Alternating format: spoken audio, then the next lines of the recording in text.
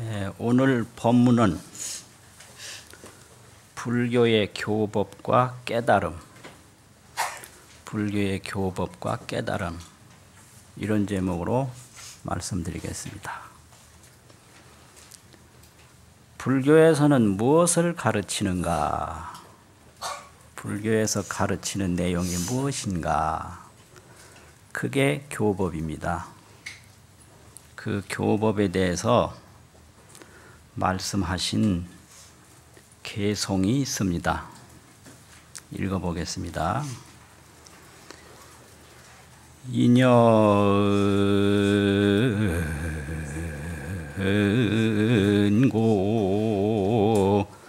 법생이요 인연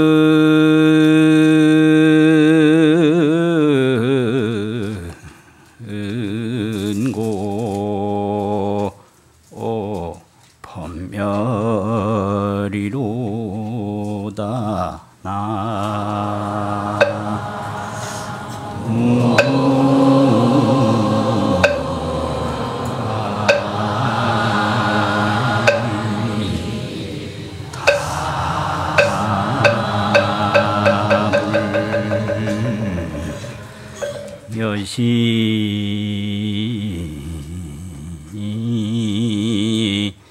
관열에 하면 구경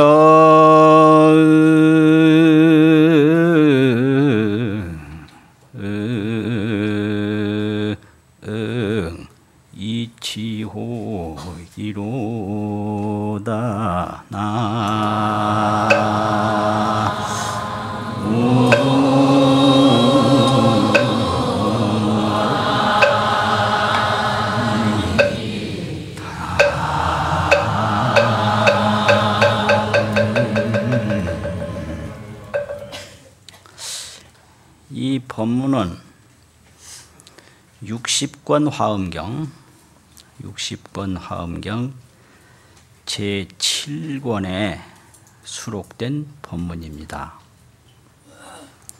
인연고로 법생이요 모든 인연으로 말미암아 인연의 까닭으로 법이 생기고 법이란 뭐냐? 모든 존재가 다 법입니다. 가장 쉽게 말하면 우리 몸입니다. 우리 몸. 우리 몸이 인연으로 생긴다 이 말이죠. 인연고로 인연 때문에 몸이 생기고 인연고로 법멸이라 또 인연으로 이 몸이 없어진다. 생멸 이 말이에요. 법생 법멸.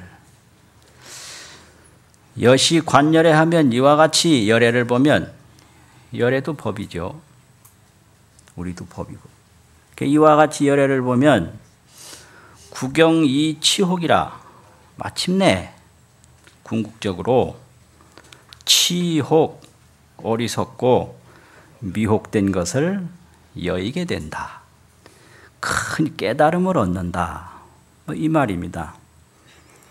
그러니까 불교에서 가르치는 것은 인연법입니다.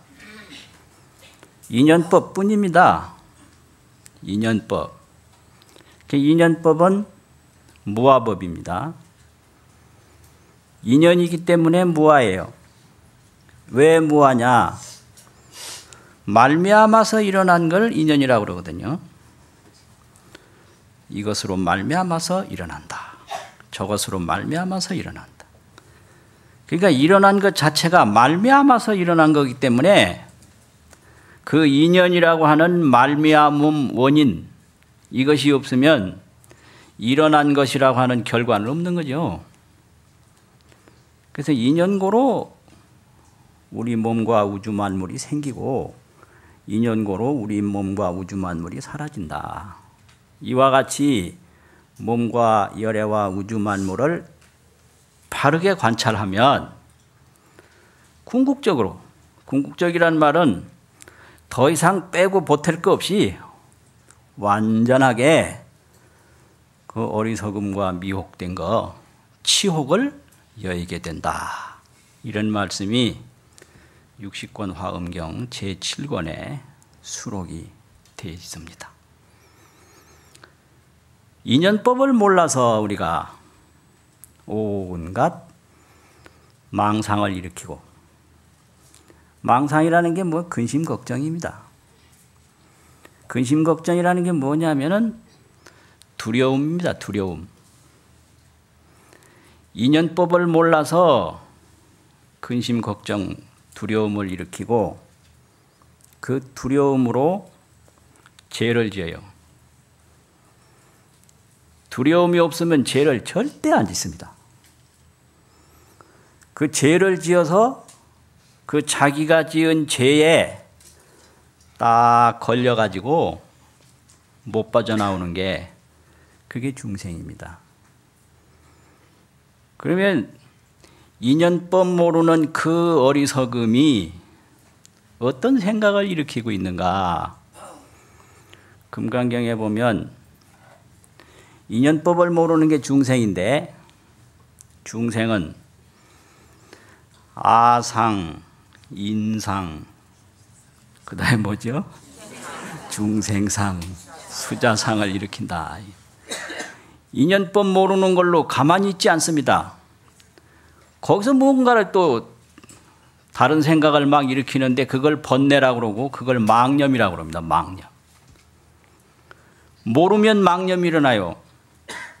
모르면 그 모른다라는 걸 무명이라고 그러고 모른다는 걸 깨닫지 못했다고 그래가지고 아니라는 아니 불자하고 깨달을 깍자하고 불각이라고 그러거든요. 모르니까 망념을 일으키는데 그 망념이 뭐냐면 여러 가지 걱정, 근심과 두려움이에요. 그것 때문에 이제 온갖 죄를 짓고 그러니까 죄 중에는 모르는 죄, 그 모르는 죄보다 더 큰 죄가 없습니다. 인연법 모르는 죄, 무아법 모르는 죄, 해탈법 모르는 죄, 그 죄로 온갖 망념 악업을 일으켜서 그 망념 악업으로 끊임없이 고통을 받는 것이 그게 중생의 굴레입니다. 그래서 이제 금강경에서는 중생이란 다른 게 아니다. 네 가지 허망한 생각을 일으키는 게 중생이다 이 말이에요. 그럼 첫째는 뭐냐? 아상이다. 근데 이게 아상인데 이 아상인상 중생상 수자상을 중생이 일으키는 생각인데 이게 구분해서 하나하나 설명한 설명이 많아요. 이런 거를 또 전부 공부하는 걸 교학이라고 그럽니다. 근데 이거 하려 보면 인생이 늙어가요. 이제 구체적으로 아상이 뭐냐 이런 거 이거 해석이 그렇게 쉬운 게 아니에요. 근데 중국의 옛날 큰 스님들은 아상인상 중생상 수자상이 아상은 탐심이고 인상은 진심이고 중생상은 치심 어리석은 거고 수자상은 애착이다. 이래서 탐진치애다. 이렇게 설명을 하셨어요. 아주 멋진 해석입니다. 그런데 근래에 유명한 틱나탄 스님께서 금강경을 해석하셨는데 거기서는 어떻게 아상인상 중생상을 설명하셨느냐면 아상이란 나와 나 아닌 것을 가르는 마음이다. 이랬어요. 내가 있죠. 내 아닌 게 있는 겁니다. 이게 아상이다. 이거예요. 참 중요한 해석입니다. 인상은 뭐냐? 사람과 사람 아닌 것과를 갈라요. 이거는 사람이고 이건 사람 아닌 거다. 중생상은 이 생명이 있는 중생과 생명이 없는 무생물, 이 중생 아닌 것과를 가르는 거다. 이게 중생상이다. 수자상은 수명을 인정하는 것과 수명을 인정하지 않는 것과 다른다. 우리 몸은 나이가 얼마냐? 자기 나이를 따지죠. 이건 수명을 따지는 거예요. 그런데 저 북한산 나이가 몇 살이냐? 이거 안 따집니다. 그럼 나도 존재고 북한산도 존재인데 왜 그건 그 나이는 안 따지냐 이 말이에요. 근데 이제 인도식으로 보면 여러 가지 개념적으로 논리적으로 해놔서 정서적으로 잘 안 들어와요. 그런데 이게 전부 허망한 망상입니다, 이게. 나와 나 아닌 걸 가르고, 사람과 사람 아닌 거 가르고, 중생과 중생 아닌 거 가르고, 수명 따지는 것과 수명 안 따지는 거 가르는 게 얼마나 허망하냐. 예를 들면 저 앞산에 숲이 잘 우거져 있습니다. 그런데 그 중에 어떤 나무가 요거는 나고 저 나머진 전부 내가 아니다. 요 생각을 해가지고 딱 서 있다면 다른 사람이 볼 때 그 우습잖아요. 인간이 꼭 그렇습니다. 저 지구 밖에서 지구를 보면 지구 한 덩어리지 요거는 나고 나 아닌 거를 그 알아줄 리가 없죠. 그리고 다른 모든 것에 의해서 내 몸도 형성되는 거지 다른 모든 걸 떠나면 내 몸이 없습니다. 그런데 이런 생각을 꼭 하고 있는 게 중생이에요. 그러니까 이 중생이라는 건 인연법을 몰라서 아집에 사로잡힌 쓸데없는 생각이다. 인연법을 모르면 아집이 생겨요. 나라는 집착이 생겨요. 그 나라는 집착이 이렇게 아상, 인상, 중생상, 수자상을 일으키게 됩니다. 그러니까 이런 중생들을 향해서 부처님이 교법을 피시는데 부처님이 교법 피시는 거 인연법입니다. 인연법을 다른 말로 하면 인과법이라고도 합니다. 인과법. 이것에 의해서 저것이 생기는 거나 원인에 의해서 결과가 오는 거나 똑같은 말이죠. 인과법. 근데 이제 인과법을 말하는데 그 인연이 다양하니까 전체 불교를 초기 불교, 대승 불교 다 합해서 보면 삼종 인과를 이야기를 해요. 삼종 인과. 첫째는 세간인과, 둘째는 출세간인과, 셋째는 출 출세간인과. 그 마지막이 좀 어려운데요. 세간인과라고는 거 육도인과예요. 지옥아기 축생 인도 천도 아수라이. 죄 지으면 지옥 가고 그 다음에 뭐, 뭐 어디 가죠? 예, 복 지으면 천당 가고 그래서 육도가 있는데 여섯 가지 세계가 있는데 제일 악한 세계 끝이 지옥이고 제일 착한 세계 끝이 천당입니다. 이렇게 오르락 내리락 해요. 이걸 육도윤회라고 그러죠. 이게 세간인과입니다. 이게 이걸 육도인과라고 그래요. 이걸 가르쳐요. 그래서 어쨌든지 지옥에 가지 말고 인천 이상에 가라.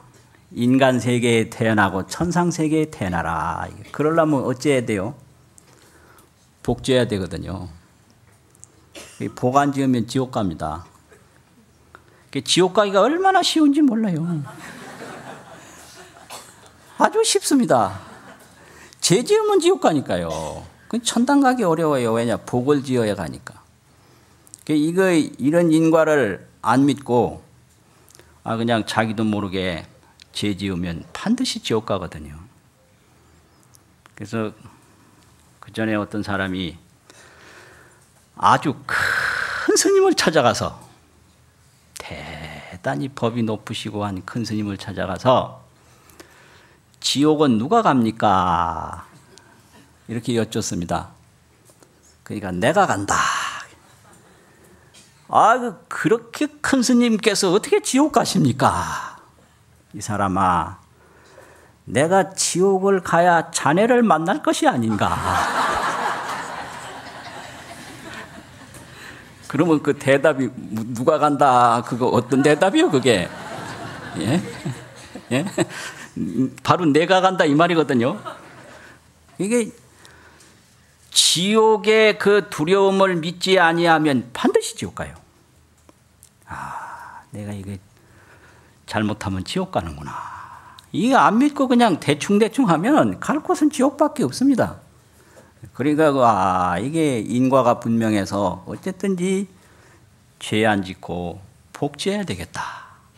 이렇게 해야 인간에 태어나고 천상에 태어날 수가 있습니다. 그게 육도인과 세간인과입니다. 근데 이 세간인과는 인간 세상이나 천상 세상에 태어나도 완전치 않아요. 그 복 다 받으면 또 떨어져요. 또 복을 열심히 지어서 복 다 받으면 또 떨어지고. 그러니까 여기서 좀 육도 윤회에서 해탈하는 법을 닦아봐야 되겠다. 이게 출세간인과예요. 세간은 육도윤회인데 육도윤회에서 벗어난다고 그래가지고 출세간이거든요. 그 출세간은 세 가지가 있어요. 성문, 연각, 보살.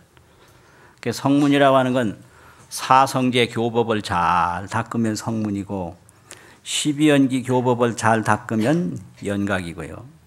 육바라밀 교법을 잘 닦으면 보살이에요. 이게 삼성입니다. 이게 이제 출세간인 거예요. 그러면 보살이 보살도를 많이 익혀서 성불 경지에 올라가면 그러면 어떻게 되느냐? 그거는 출 출세간 출세간 해탈인데 그 해탈에서도 다시 나와요. 이게 출 출세간이에요. 출세간에서도 나오는 인과다 이게요. 어, 그래가지고 출세간 인과는 해탈 인과고 출 출세간 인과는 일승 인과. 일승은 승자는 길도자와 같은 건데 길도 하나뿐이에요. 불도 불도 하나뿐입니다. 그러니까 이 불도에는 원흉해서 원흉 그걸 원흉인과라. 이걸 비유로 말하면 세간인과는 수파충랑이라고. 따를 수 물결파 물결 따르고. 쫓을 축 때에 물결파. 물결 랑자가 있죠. 충랑 물결 따라서 선을 짓고 악을 짓고 선의 물결 악의 물결. 따라서 지옥 가고 천당 가고. 이게 수파충랑으로 사는 거예요. 물, 파도 따르고 물결 따라서 그냥 밀려오는 대로 밀려가는 대로 따는 거거든요. 그리고 이제 출세간인과 이 해탈을 향해서 가는 것은 이파향수라고 그래가지고 이 파도로서 물을 향해 간다. 그러니까 파도에 밀리지 않고 물로 들어간다 이거예요. 이파 향수라 파도로서 물을 향하는 것이다. 그 다음에 출, 출세간 인과라고 하는 것은 원흉 인과인데 이 원흉 인과라는 것은 뭐냐? 수파 무에 수파 원흉 물수 파도파 물과 파도가 원흉해요. 또 물과 파도가 걸림이 없어요. 그래서 파도 없는 물이 없고 물 없는 파도가 없듯이 파도가 물이고 물이 파도인 이경지가 이제 원흉 인과인데 이게 이제 가장 높은 인과입니다. 이게. 그 불교는 이렇게 삼종 인과로서 모든 교법을 다 펴니다. 이게 불교입니다. 그래서 예, 불교인데 이제 우리가 제일 관심이 있는 것은 일승불교. 일승. 그게 바로 화엄경의 가르침입니다. 그래서 일승불교는 일념이 즉시 무량겁이요. 일찰나가 무량겁이고 무량원겁이 즉 일념이요. 무량겁이 바로 일찰나요. 일중일체요. 일체적일이라 하나 가운데 일체가 다 있고 일체가 바로 하나다. 이게 원흉입니다. 이게 원흉. 중생 몸을 버리지 않고 그대로 부처 몸이고 부처 몸을 버리지 않고 그대로 중생 몸인 그 경지가 무슨 인과라 그랬지 아까? 네, 무슨 뭐 왜 저 처음에 예. 세간인과 출세간인과 출 출세간인과인데 그거는 이제 처음에 그 중간권 해탈인과고 원흉인과라고 그랬죠. 그넉 놓고 가만히 계시면 안 돼요. 불시에 물어보는 수가 있어요. 예. 이 법이 부처님이 설법하신 후로 가장 원만하게 이루어진 아주 불교의 꽃 중의 꽃이 이 화엄경 불교입니다. 원흉이에요. 그러니까 중생 몸을 바꾸지 않고 그대로 털끝 하나도 움직이지 않고 부처 몸이 되고요. 부처 몸을 털끝 하나도 움직이지 않고 중생이 되는 거예요. 원흉한 거예요. 부처 속에 중생이 있고 중생 속에 부처가 있고 물, 물 속에 파도가 있고 파도 속에 물이 있어서 수파가 원흉이요 수파가 무해라 원흉 무해 그 이것이 아주 이제 불교 중에 최상의 불교입니다. 그러면 그런 것을 이제 개성으로 말씀하는 게 있는데 그게 뭐냐? 천공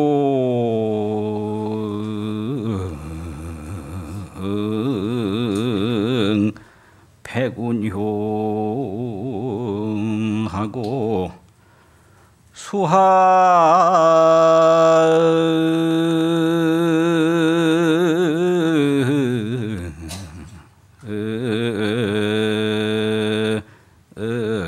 명월유로다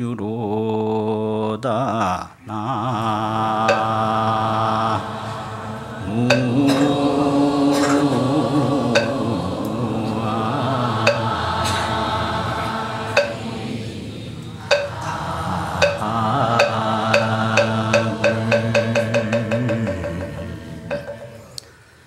개성은 서산스님 법어집 청허집이라고 있는데요.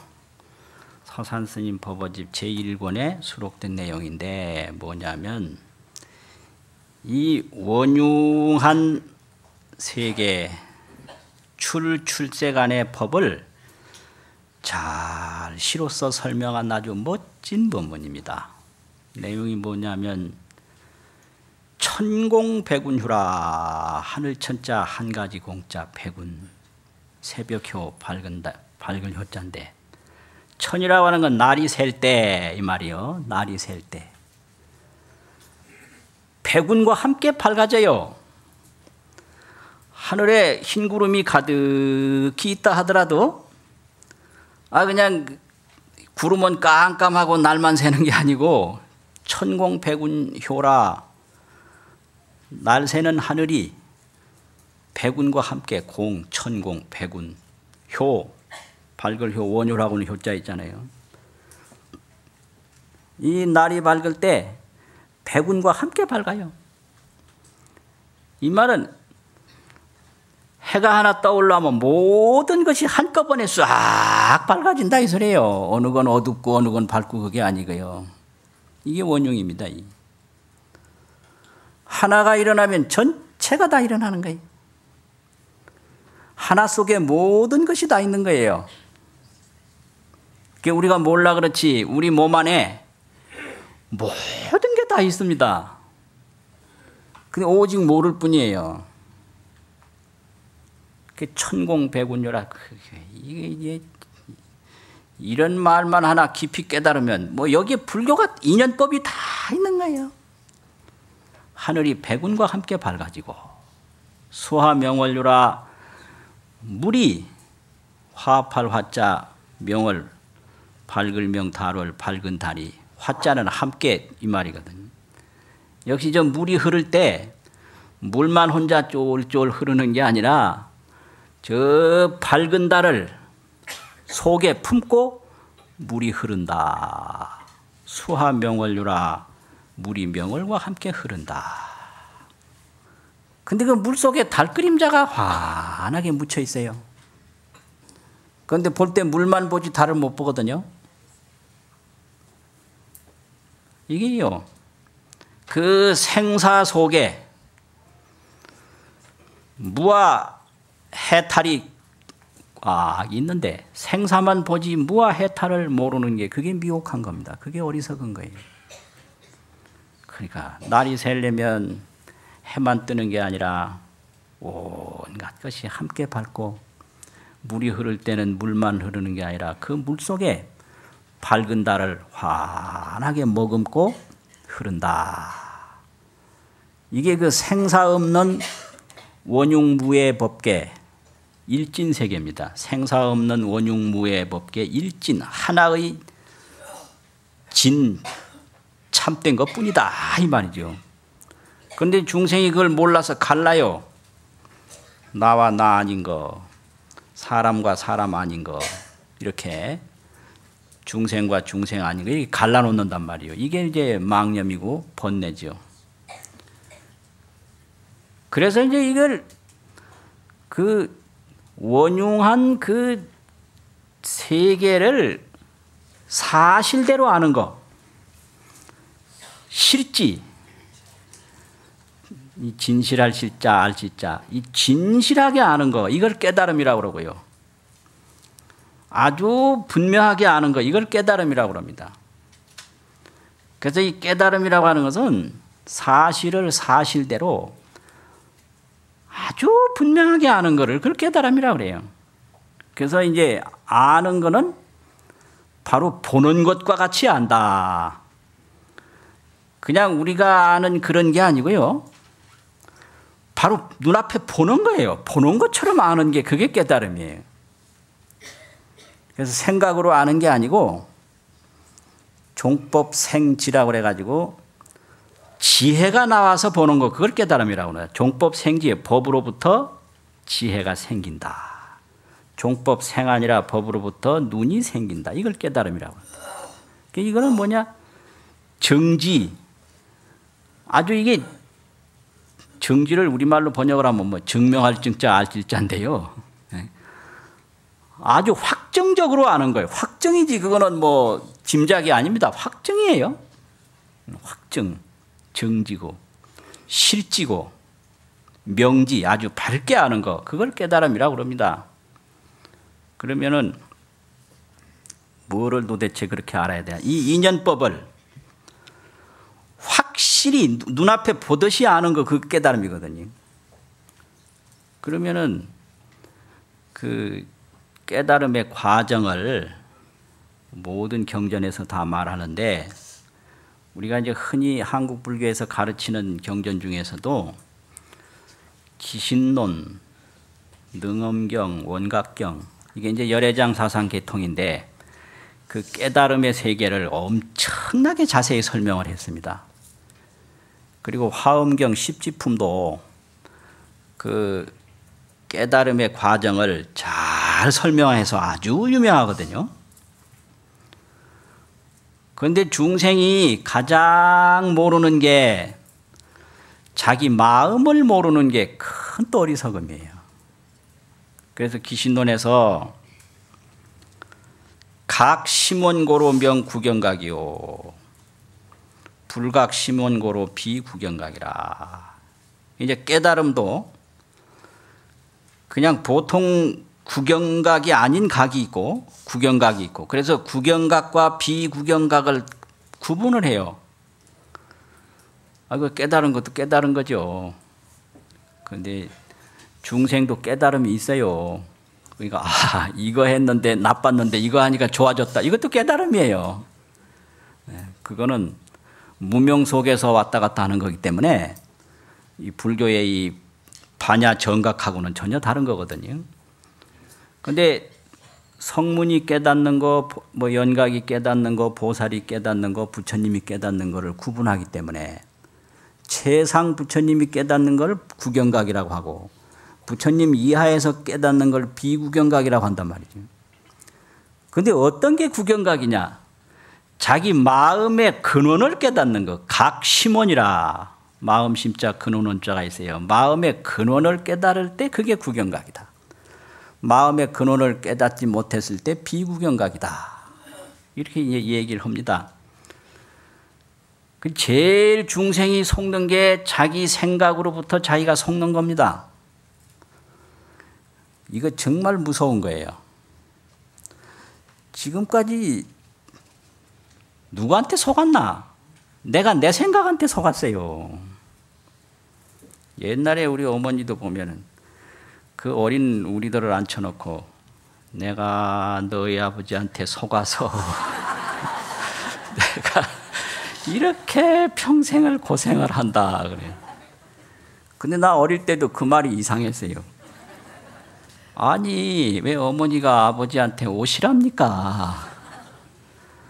어머니가 스스로 오셨지 누가 오시라고 했습니까? 그 아버지한테 속은 게 아니라 네, 자신한테 속은 거거든요.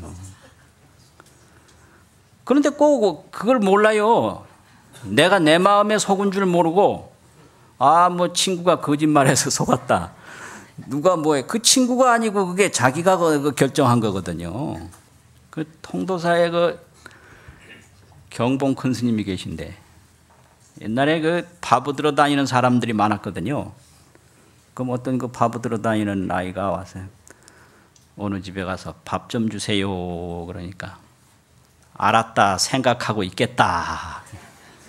그래서 다른 데 다 다니다 이제 마지막에 와서 밥 주세요. 그러니까 밥 없다. 아까 생각하고 있겠다고 안 했습니까? 누가 줄 생각했나? 안 줄 생각했다. 아, 이번문을 그렇게 많이 하셨어요. 이게 전부가 이게 자기 생각에 다 속는 걸 얘기하는 거예요. 그게 중생이에요. 중생이라. 그래서 자기 마음의 근원을 확실히 깨닫는 게 기신론에서 각 심초기. 첫 번째 그 어리석은 마음이 일어나는 심초기를 깨닫는 거예요. 그 어리석은 망념이 일어나는 것, 그것, 그걸 깨달으면 신무초상이라 그 처음 일어나는 생각이 없어요. 그 말은 뭐냐면 망념이 없어요. 번뇌가 그 최초로 일어나는 그 미세 번뇌의 뿌리가 확 드러나서 바로 알면 그 다음 번뇌가 없어요. 신무초상이라. 각 심초기의 신무초상이라. 이 기신론 설명이에요. 그 못 깨달은 건 뭐냐? 불여실지 진여법 일고로 무명심이 생이라. 여실하게 이 진여 우리 그 근본 우리 자신이 하나인 줄을 몰라요. 여실하게 아주 실답게 하나인 줄을 모르기 때문에 아 이걸 희미한 생각이 일어나고 무명이고 거기서 이제 나와 너를 가르게 돼요. 그래서 이 깨달음이라고 하는 것은 다른 게 아닙니다. 그 자기한테서 자기를 찾는 건데요. 그럼 자기가 뭔데 그렇게 자기한테서 자기를 찾냐? 이걸 이제 비유로 얘기를 하면 불수인이라고 해가지고 잠들어 있지 않은 자신이 있어요. 잠들어 있지 않은 자신, 그 불수 아니 불자 잠잘 술자, 잠자지 않은 잠 깨어 있는 자신 있잖아요. 근데 그 잠들어 있지 않은 자신이 어느 사이에 잠이 들어 버렸어요. 이게 수인 잠자는 사람이에요. 근데 잠들어 있다가 이제 어떻게 되냐. 잠에서 깨야 될 거 아니에요. 이게 이제 깬 사람이란 말이에요. 세 사람이 있어요. 잠들기 전 나, 잠든 나, 잠에서 깬 나. 이거란 말이에요. 그러니까 이 중생은 잠들은 자신이에요. 그럼 잠들어 있던 자신이 잠에서 깨면 어떻게 되냐? 그 잠들기 전 본래의 사람으로 돌아가는 겁니다. 이게 나를 찾은 거예요. 뭔 말인지 이해가 가십니까? 네. 잠들기 전 나, 잠든 나, 잠에서 깬 나가 있는데 중생은 잠든 나다.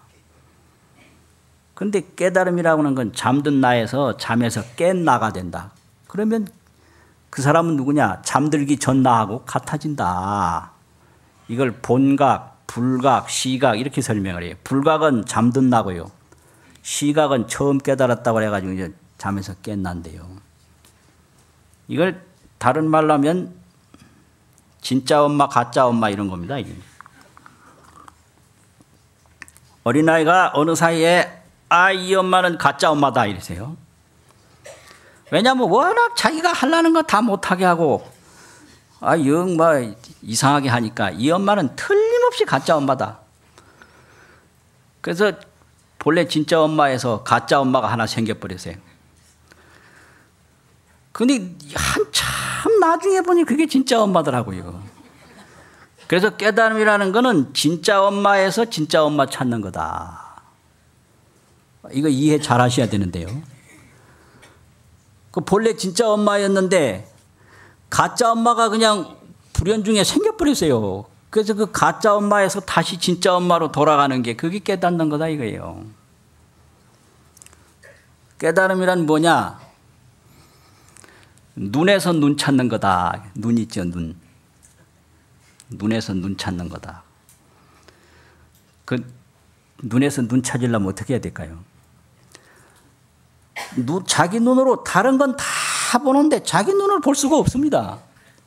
그래서 다른 건 다 보이는데 자기 눈이 안 보이니까 어떻게 하면 이 내가 내 눈을 볼 수 있을까?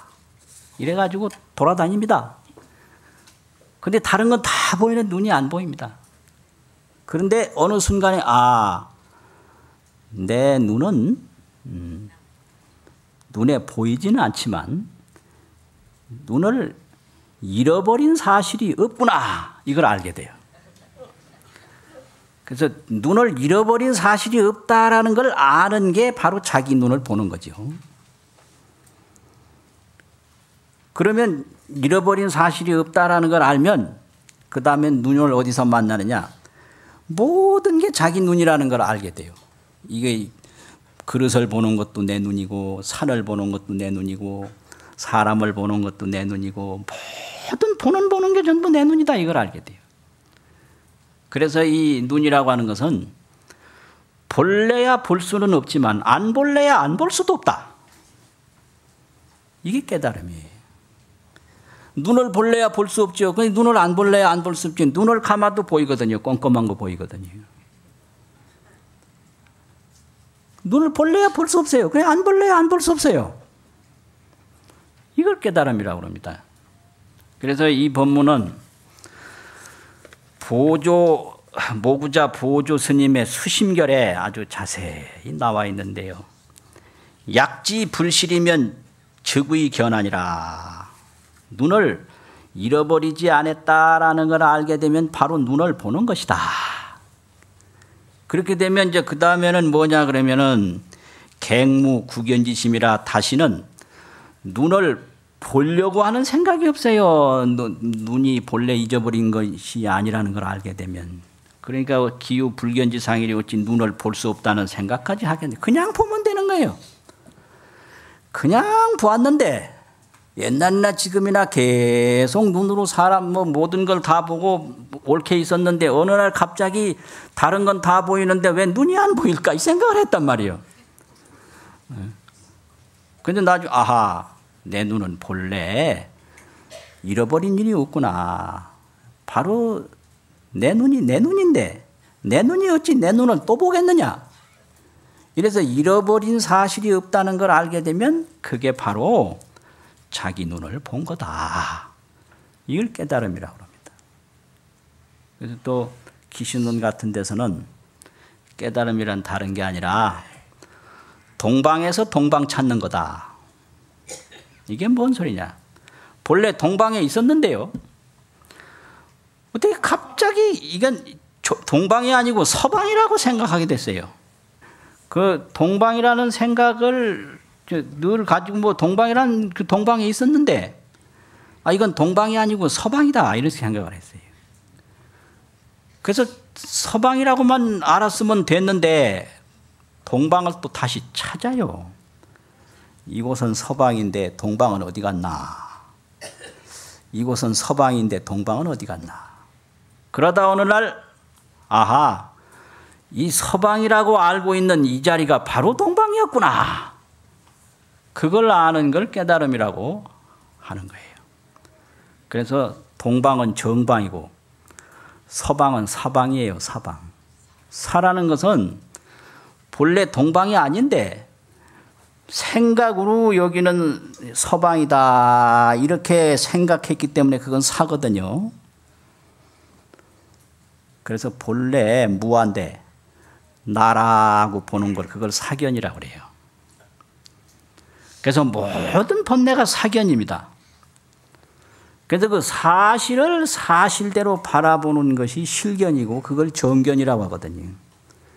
그래서 이 정견만 얻으면 모든 업을 짓지 않고 그 쓸데없는 업을 안 지면 고통을 당할 리가 없으니까 이렇게 믿고 원을 세워서 복을 닦고 지혜를 닦게 하는 게 그게 불교입니다. 그래서 이제 복을 닦아야 장애가 없어지고 복만 닦으면 윤회를 면하지 못하니까 좋다가 또 나빠지고 친하다가 또 멀어지고 그래요. 그러니까 원을 세워가지고 그렇게 잘 닦는 걸 그걸 불교라고 그러고 마지막에 또 개성을 하나 읊겠습니다. 포살리도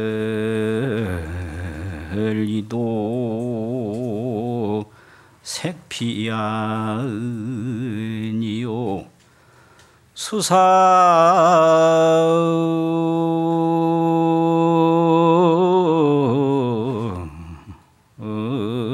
행시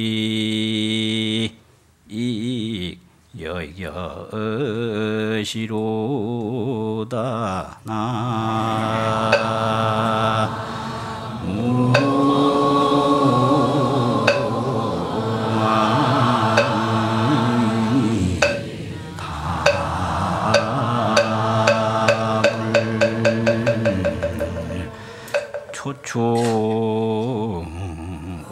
초출세가 생사류.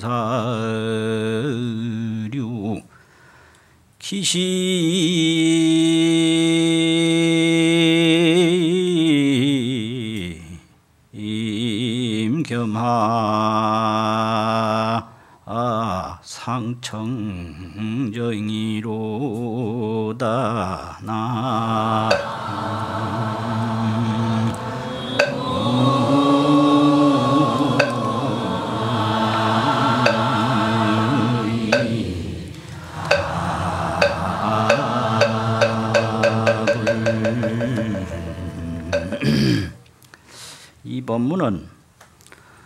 80권 화엄경 제28권 10회양품에 있는 법문인데요.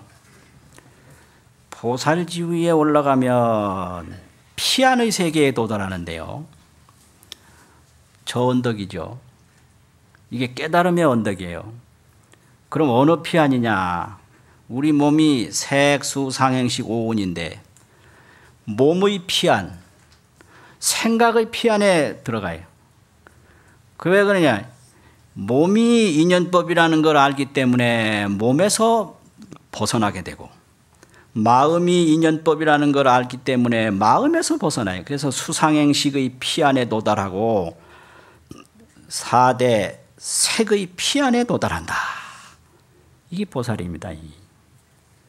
우리가 이 몸의 생각의 피안, 몸의 피안에 도달하지 못했기 때문에 항상 근심 걱정을 면할 길이 없는 거죠. 그래서 초출세간 생사류라 생로병사의 윤회를 다 벗어났다. 그래서 그 마음이 항상 청정하다. 이런 말씀을 그 환경에서 말하고 있는데 이것이 그 원만한 인과를 이뤄가는 아주 중요한 법문입니다. 마치겠습니다.